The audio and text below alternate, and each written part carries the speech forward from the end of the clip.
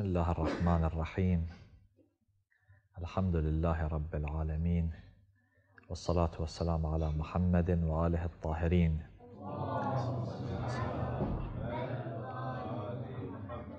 واللعنة على أعدائهم أجمعين إلى قيام يوم الدين. ولا حول ولا قوة إلا بالله العلي العظيم. المرحوم الطبرسي يذكر بعض روايات فضل العلم والعلماء.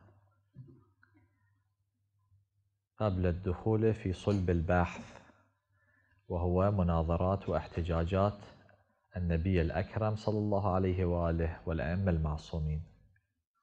عليهم أفضل الصلاة وأزكى السلام.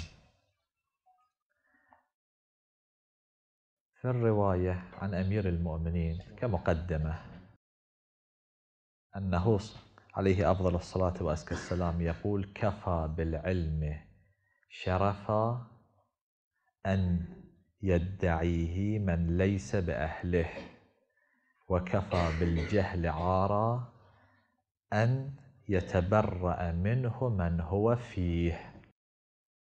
شرف العلم ذاتي لا شك في ذلك. طبعا العلم يرتبط بمتعلقه متعلق العلم إن كان مطلوبا فالعلم يكون مطلوبا وإن كان متعلق العلم مبغوضا فالعلم مبغوض.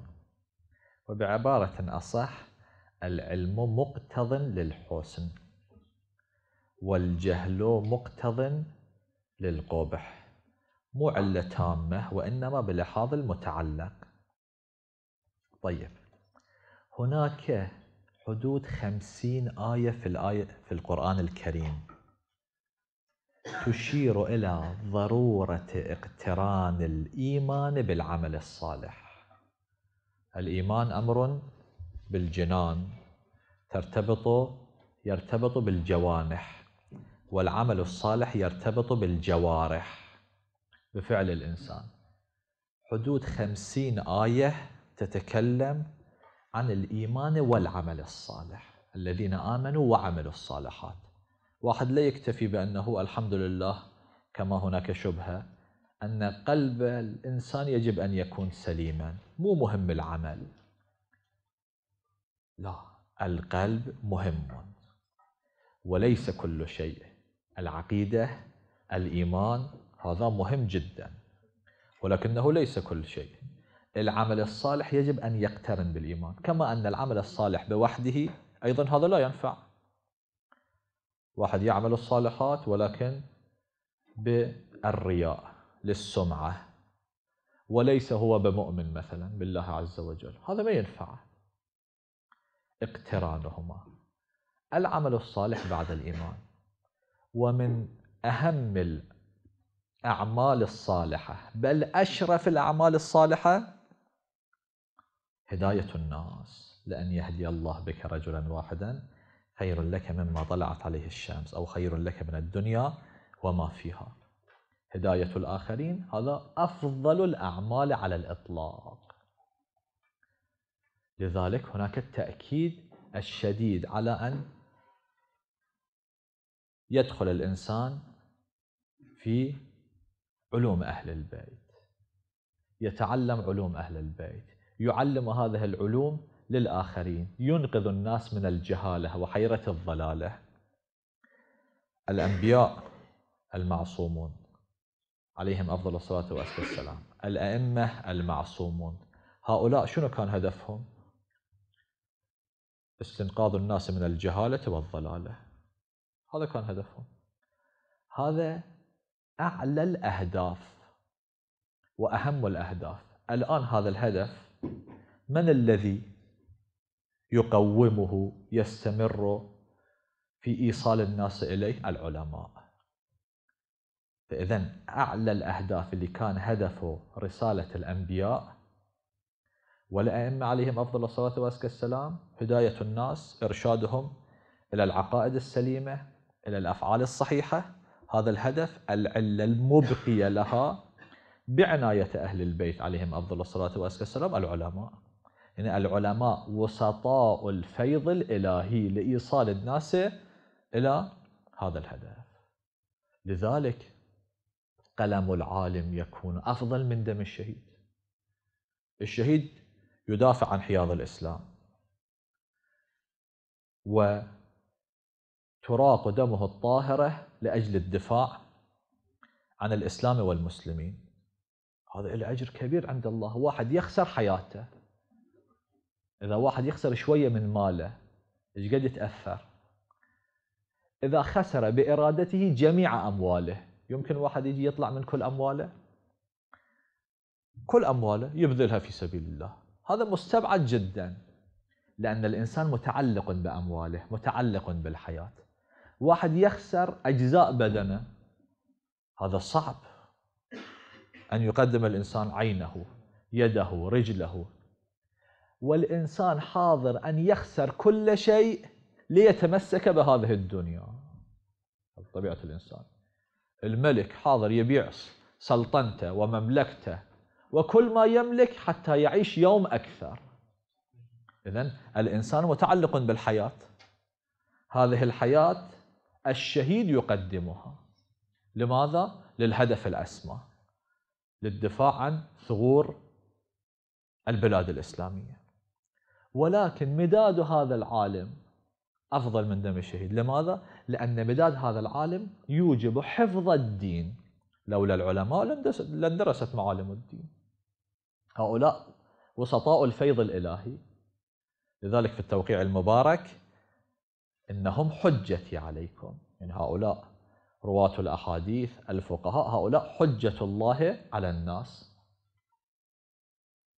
فمن هنا يظهر أهمية العلم.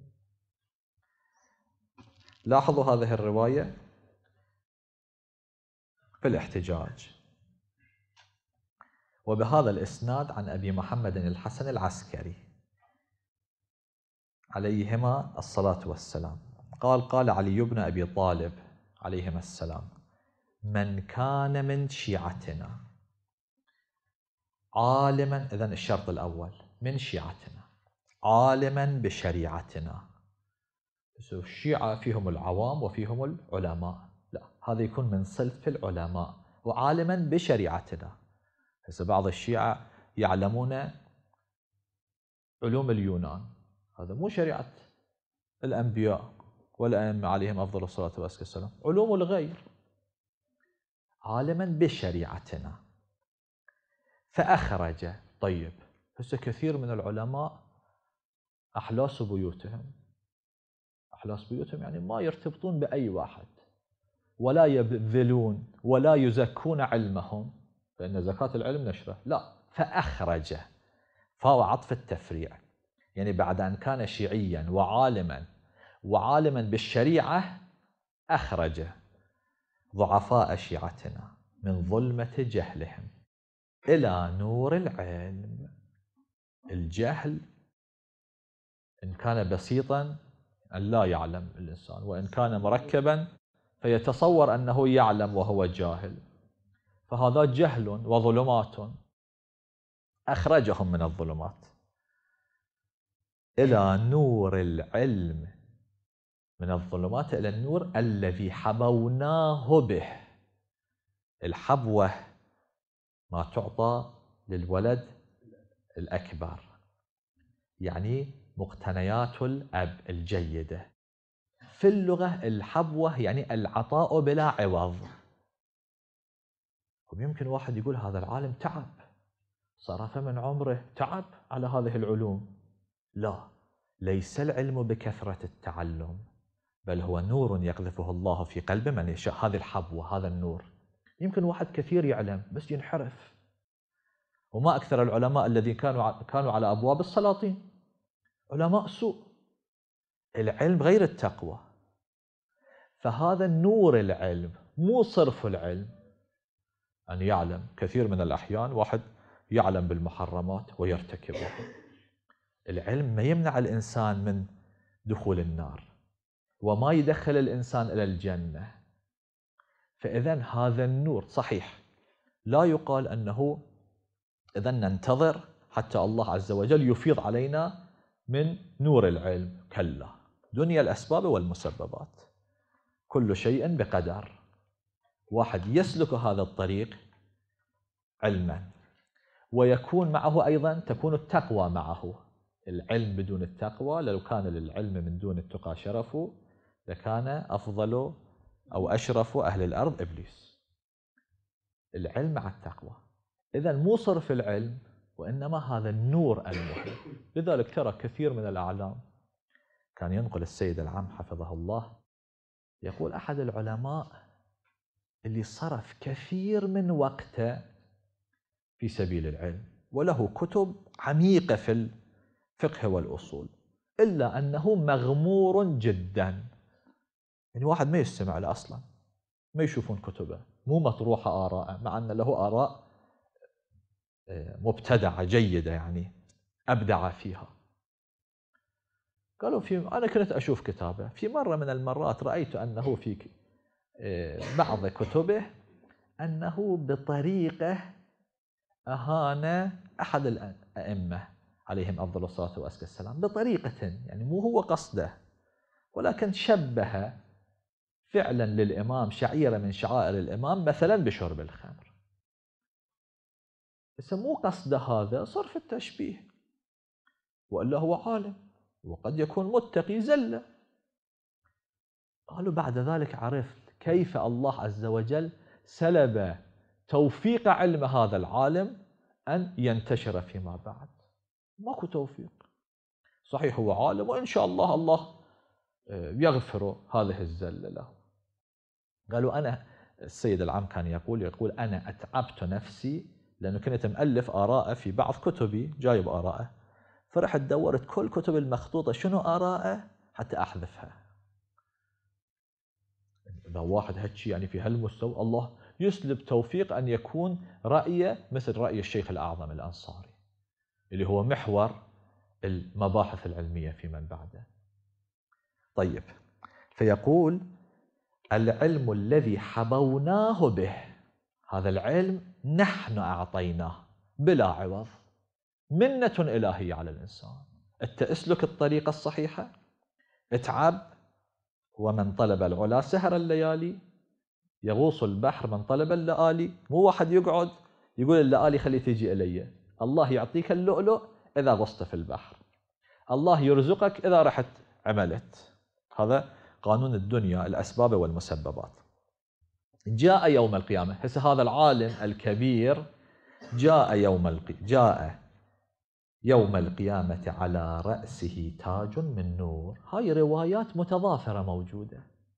روايات متعددة. روايات بل متواترة. في فضل العالم. لاحظوا كتاب البحار الكتب الأخرى جاء يوم القيامة على رأسه تاج من نور. ليش على رأسه تاج من نور؟ مو أنه هذا علم انتشر. أخرج الناس من الظلمات إلى النور فيتوج. بأفضل عضو في بدنه اللي هو الرأس. بتاج ينتشر النور من هذا التاج. يعني هناك مناسبة بين ما يعطى في يوم القيامة وما أعطاه في الدنيا هو. يضيء لجميع أهل العرصات. يوم القيامة عرصات مختلفة متعددة مواقف متعددة. كل هذه المواقف تضاء من تاج هذا العالم. وحله لا تقوم لأقل سلك منها الدنيا بحذافيرها. حلة لا تقوم أو لا تقوم. العلامة المجلسي في البحار يقول بالتشديد لا تقوم لا تقوم يعني من التقويم أو لا تقوم يعني لا يقاومها أي شيء في الدنيا. فكلا الأمرين جائزان. حلة لا تقوم لأقل سلك منها خط من هذه الحلة. الدنيا بحذافيرها. الدنيا بكل ما فيها. هذا يعني بأجمع حذافيرها يعني بأجمعها. ثم ينادي مناد يا عباد الله هذا عالم من تلامذة بعض علماء آل محمد.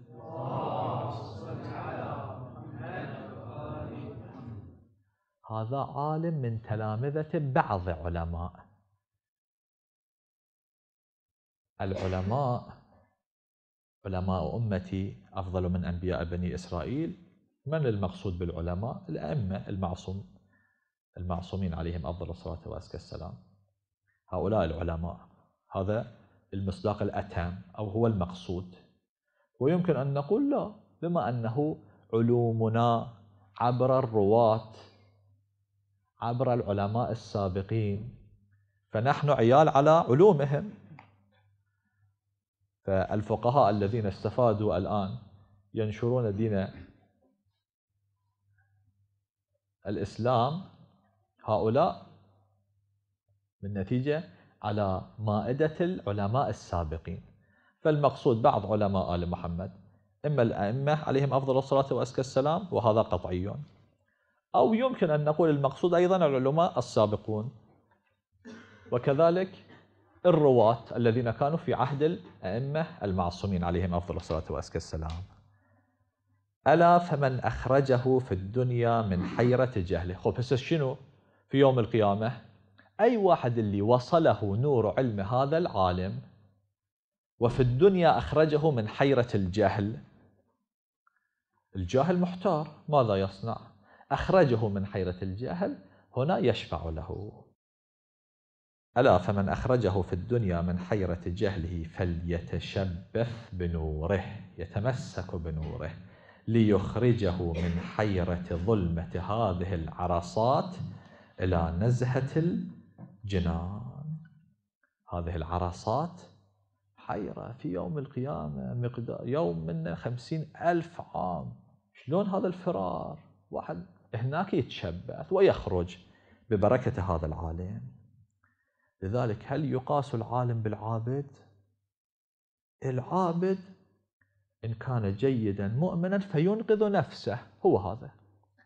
أما العالم فيسبب إنقاذ الآخرين أيضا. ليخرجه من حيرة ظلمة هذه العرصات إلى نزهة الجنان فيخرج كل من كان علمه في الدنيا خيرا. ولو مسألة بسيطة. أو فتح عن قلبه من الجهل قفلا. قلبه مقفول بالجهل فتح قفلا من الجهل. علمه مسألة عقائدية. هداه إلى مسألة فقهية. أرشده إلى قضية أخلاقية في بيته خارج البيت. لذلك العلماء السابقون هؤلاء كلهم أو جلهم كانوا أهل موعظة. مو أنه يكتفي مثلا بذكر المسألة الشرعية الفقهية. لا شوفوا الأمالي الروايات المختلفة التي ينقلوها كثير منها روايات أخلاقية كثير منها روايات آه، ترشد إلى السعادة في الحياة الدنيا السعادة الزوجية السعادة العائلية طريقة التربية. مو صرف من الروايات الفقهية فقط. أو أوضح له عن شبهة. الشبهات مرتع الشيطان لأن الشبهة تشتبه بالحق أو تشبه الحق فهنا محل صولان وجولان الشيطان يجول ويصول. لأن الإنسان ما ينحرف دفعة إلا هناك شبهات تتراكم على قلبه بهذه الشبهات هذه الشبهات تسبب زيغ قلبه وانحرافه عن الجادة. هذه الشبهات المتراكمة. لذلك يقول وأوضح له عن شبهة يعني عنده شبهة يبين هذه الشبهة. هل هذه الشبهة التي ذكرت وما أكثر الشبهات في هذا اليوم؟ أحد الأصدقاء كان ينقل يقول أكثر في النت أكثر من ثلاثة آلاف شبهة عن الشيعة. هسه شبهات كثير منها واهية كثير منها مغالطات دقيقة. من الذي يزيح هذه الشبهات؟ العلماء. مو شغل العابد العابد هو يدخل الجنة. العالم مع فئات وفئات يدخل الجنة. لذلك هذا آه، أهمية العالم. بالنتيجة استمرار شرع الله بوجود هذا. هؤلاء العلماء. طبعا بفيض من الإمام المنتظر عجل الله تعالى فرجه الشريف. وبهذا الإسناد رواية أخرى أيضا في فضل العلم والعلماء. عن أبي محمد الحسن بن علي العسكري عليهما السلام. قال قال الحسين بن علي عليهما السلام فضل كافل يتيم آل محمد.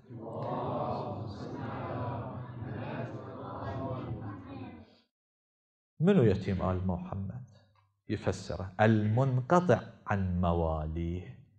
أي واحد يعني إحنا أيتام آل محمد. انقطعنا عن الإمام الحجة عجل الله تعالى فرجه الشريف. إحنا الأيتام الشيعة الآن في هذا الزمن كلهم أيتام أنا وعلي أبوا هذه الأمة. انقطعنا عن أبينا. عن الإمام الحجة المنتظر عجل الله تعالى فرجه الشريف. الناشب في رتبة الجهل. نشب الشيء في الشيء كما في اللغة علق فيه. تعلقنا بالجهل وعلقنا في الجهل. لا نقدر لا نتمكن من أن نخطو إلى الأمام أو نرجع إلى الخلف. متورطين. اللي يكفل هذا اليتيم وبالفعل هذا يتيم كما مضى. يخرجه من جهله ويوضح له ما اشتبه عليه. ياخذ ايده ويرشده يسحبه مما علق فيه. على فضل كافل يتيم يطعمه ويسقيه. كافل اليتيم جدا له روايات متعددة في فضل كافل اليتيم. اللي يطعمه يسقيه. الرسول الأعظم صلى الله عليه وآله قال أنا وكافل اليتيم كهاتين في الجنة. هكذا. أشار بسبابته والوسطى. في الجنة هكذا. يعني مقامه كأنما شوية أنزل من مقامي. هذا كافل اليتيم. واليتيم المتبادر من يعني من يكفل الأيتام اللي فقدوا آباءهم. في روايات متعددة من عال يتيما حتى يستغني عنه. يعني كبره إلى أنه هذا اليتيم كبر وراح اشتغل وصار صاحب ثروة صاحب مال بعد ما يحتاج إلى هذا الراعي وهذا الكافل.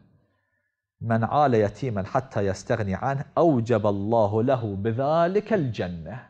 أوجب الجنة. هذا أمر عظيم عند الله عز وجل.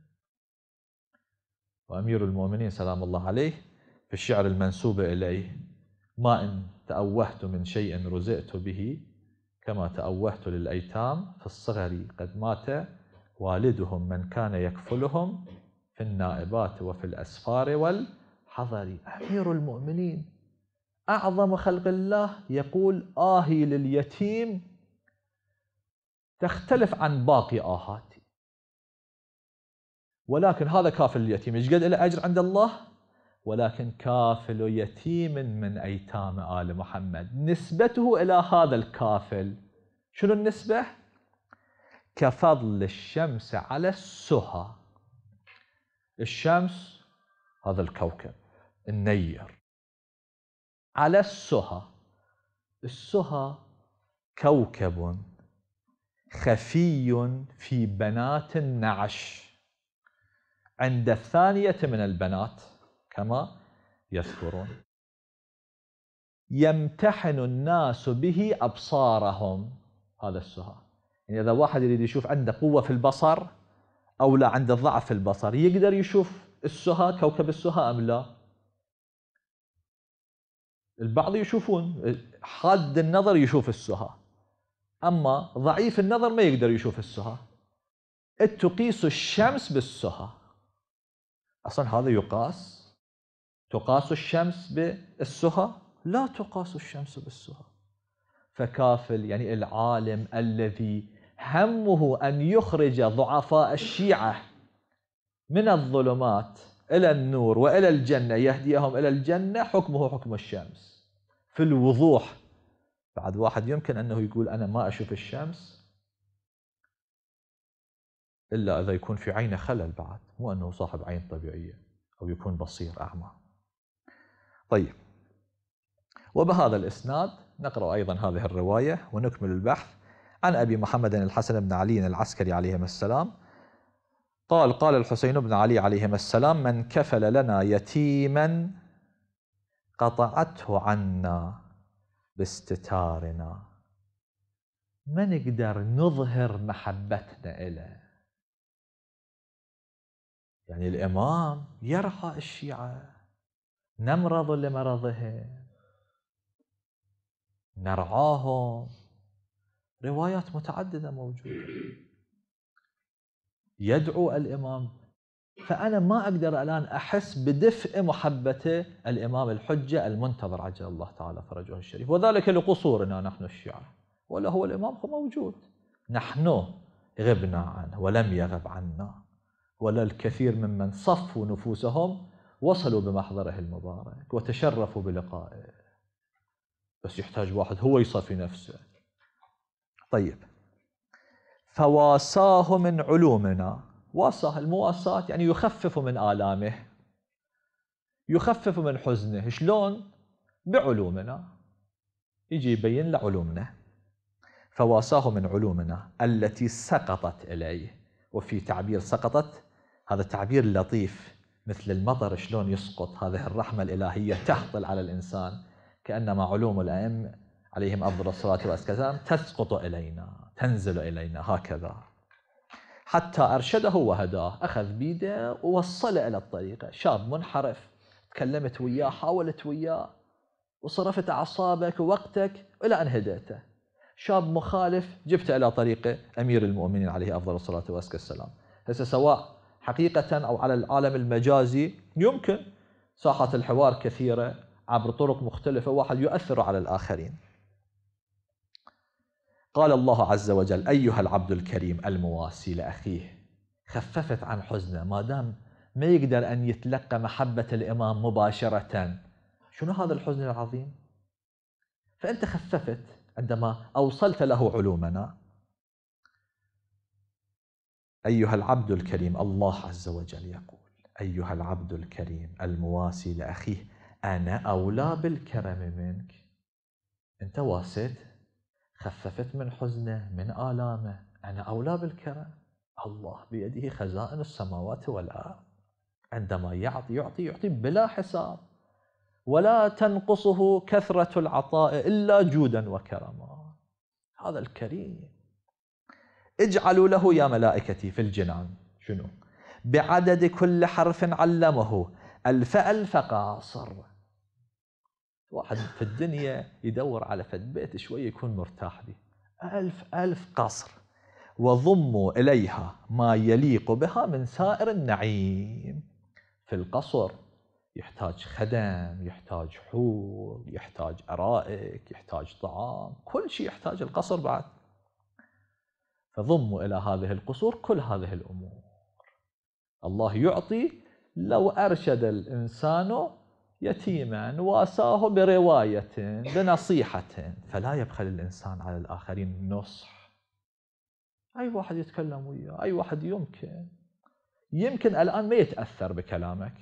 تقول هذا معاند بس هذه الكلمة قد تغير مجرى حياته 180 درجة وراء 20 سنة.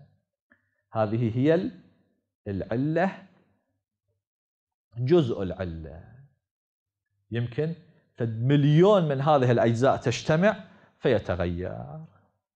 أحد الأساتذة في الشامات أعلن استبصاره تشيع قالوا له كيف تشيعت؟ قال من مصرع من أبيات ابن الحجاج أو جزء من مصرع. أنا كنت أدرس في الجامعة فوصلت في آه، كتب البلاغة في الجامعة في دمشق. فوصلت إلى جزء من مصرع. ابن حجاج رحمه الله حفيد ذاك السفاك المعروف الحجاج ابن يوسف. لعنة الله عليه. هذا ابنه يعني حفيده طبعا حفيده يمكن السادس السابع. هذا من أفضل الموالين للأئمة عليهم أفضل الصلاة والسلام ومن الشعراء. يقول في جزء من أشعاره كاتب لم أكتم كما كتموا. يقول أنا وصلت إلى هذه هذه الكلمة لم أكتم كما كتموا استغربت. قلت في نفسي ما الذي كتموه وابن الحجاج لم يكتمه؟ هذه الكلمة هي التي سببت أن أذهب وأبحث. ماذا كان ما هي عقيدة ابن الحجاج؟ وكيف وصل؟ وبعد فترة يمكن من الفحص والتحقيق يمكن سنتين ثلاث سنوات أنا استبصرت ووصلت إلى هذه القناعة. فواحد ما يبخل حتى بكلمة واحدة. أسأل الله عز وجل أن يجعلنا ممن ننتفع بعلوم أهل البيت عليهم أفضل الصلاة وأزكى السلام وأن نتمكن من أن نكفل بعض أيتامهم. هذا وصلى الله على محمد وآله الطاهرين.